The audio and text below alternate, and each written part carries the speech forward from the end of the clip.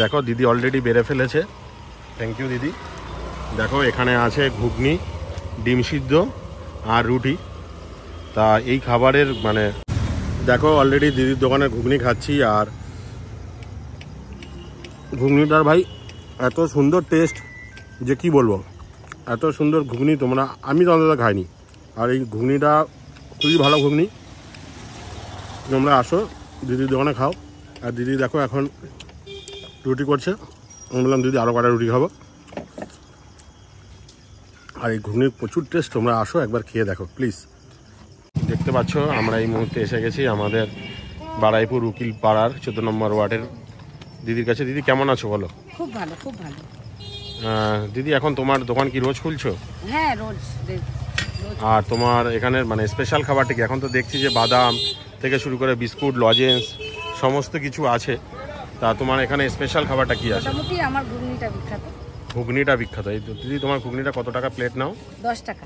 আর এই তুমি যে হাত রুটি বানাচ্ছ এটা টাকা। চার টাকা। হ্যাঁ। তা তোমার এই ঘুগনি রুটি কি খাওয়া যাবে? অবশ্যই অবশ্যই খাওয়া যাবে। আর তোমার দোকান দিদি রোজ খোলা থাকে? হ্যাঁ হ্যাঁ রোজ খোলা থাকে রবিবার বন্ধ। তাহলে রোজ খোলা থাকে না? মানে ছদিন খোলা থাকে রোববার বন্ধ। থাকে। মানে সারাদিন যেহেতু ক্লান্ত হয়ে যাও। আর রোজ কটা থেকে কটা অবধি দিদি খোলা থাকে? থেকে পাঁচটা থেকে রাত দশটা।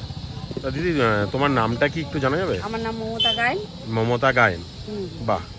তা তোমার যদি কিছু মনে না করো মানে তোমার এই বিষয়টা যদি কি করে হলো একটু যদি জানতে পারি কি দিদি?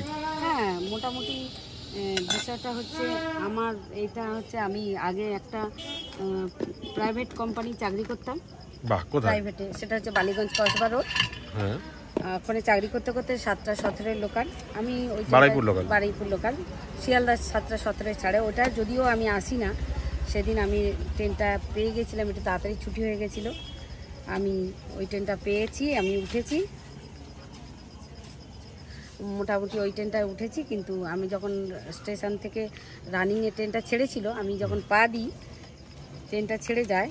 তারপরে দেখলাম যে অ্যাসিড ওরা কি তোমাকেই না না না, আমাকে নয়। মোটামুটি ওরা ভিতর থেকে স্প্রে করতে করতে বাইরের দিকে বেরোচ্ছিল মানে একা না আরও অনেকে? আমরা ওরা দুজন ছিল। এরকম তারা কি অ্যারেস্ট হয়েছিল পরে? আমি ওটাও বলতে পারি না। আমি মানে কোনো আমি যে ওই অ্যাক্সিডেন্ট হয়েছি তারপরে এক বছর তিনশো পঁয়ষট্টি দিন একটা বেডে মৃত্যুর সঙ্গে লড়াই করেছি এবং আমার মা আমাকে সবসময় নিয়ে তিনি আমাকে দেখভাল করেছেন এবং আমার বৌদিরা যাতায়াত রেল থেকে তোমাকে সহযোগিতা করেনি হ্যাঁ রেল থেকে করেছে। আমাকে তখন দিদি ছিলেন রেলমন্ত্রী। মানে মমতা ব্যানার্জি। মমতা ব্যানার্জি। আমাকে ওই যে দু লক্ষ দু লক্ষ পঁয়ত্রিশ হাজার পঁয়ষট্টি না পঁচাশি টাকা আমাকে দিয়ে উনি ওখানে সমস্ত বেয়ার করে আমাকে আর আমার মা আয়া খরচা করে আমাকে বাড়িতে নিয়ে আসা মানে হসপিটাল খরচাটা দিয়েছে না এমনি ওই টাকা ক্যাশ দিয়েছে হসপিটাল খরচা। এবার ক্যাশটার জন্য হয় উকিল কেস টেস করেছে আমরা সত্যি কথা নিরীহ মানুষ। তা তারপর প্রায় তুমি তিন মানে তিনশো পঁয়ষট্টি দিন হসপিটাল ভর্তি ছিলে তিনশো পঁয়ষট্টি দিন হসপিটালে কোন হসপিটালে ছিলে আমি প্রথমে ছিলাম চোদ্দ দিন বিয়াসিন আর তারপরে ছিলাম পুরো ওই তিনশো পঁয়ষট্টি দিন আমি ছিলাম ওই বিএনআরে এই হ্যাঁ বিএনআর যেটা হচ্ছে কিনা খিদিরপুর। তা তখন মানে তোমার পরিবারের আর সবাই তোমার পাশে দাঁড়িয়েছিলেন আমার পরিবারে মোটামুটি সবাই দাঁড়িয়ে ছিল। আমার সবাই দেখ- দেখতে যেত বা আমার খাবার দাবার তারা নিয়ে যেত টেত। তা মানে তোমার হাজবেন্ড যিনি? উনি হচ্ছে কিনা আমাকে পাঁচ নম্বর ওটি করার পরে উনি পালাতে পারেন মানে চলে যান। মানে ওই সময় ওই অবস্থা শুনে তোমার হাজবেন্ড চলে যায়? চলে গেল। তো তোমার কি ছেলে মেয়ে ছিল দিদি? না। মানে আর সংসারই করল না? না।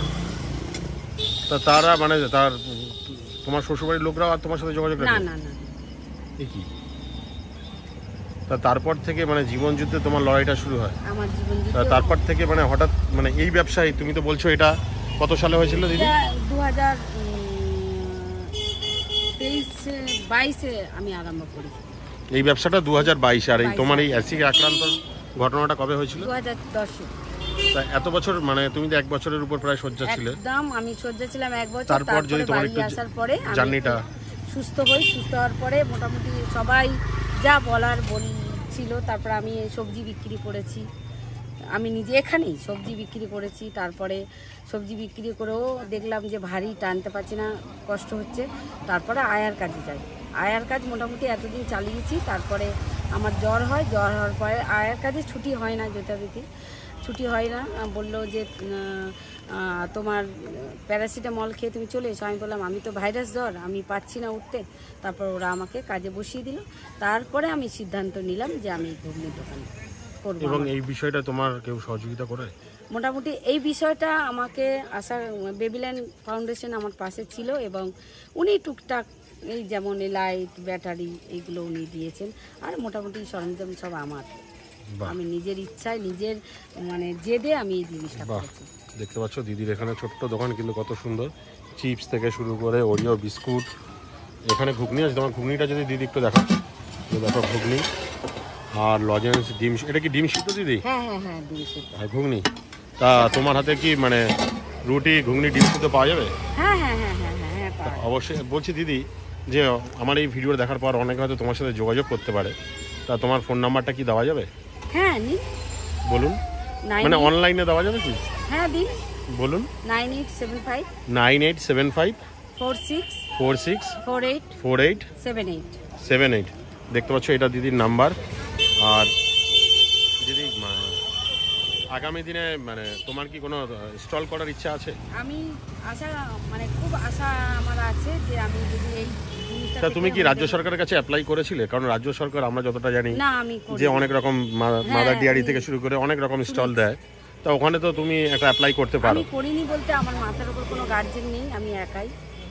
আর এখন যেহেতু বেবিল্যান্ড ফাউন্ডেশন দাদা এসছেন যদি আপনারা এসছেন যদি তুমি কি কোনো ভাতা পাও রাজ্য সরকার থেকে? হ্যাঁ হ্যাঁ হ্যাঁ হ্যাঁ। ভাতাটা পাও হ্যাঁ প্রতিবন্ধী ভাতা পাই আমি। বাহ। আর তো তোমায় ডিস্টার্ব করো তুমি রান্না করছ আর তোমার হাতে একটু ঘুগনি আর এটা দাও। দেখতে পাচ্ছ এই দিদির হাতে এখন ঘুগনি খাব।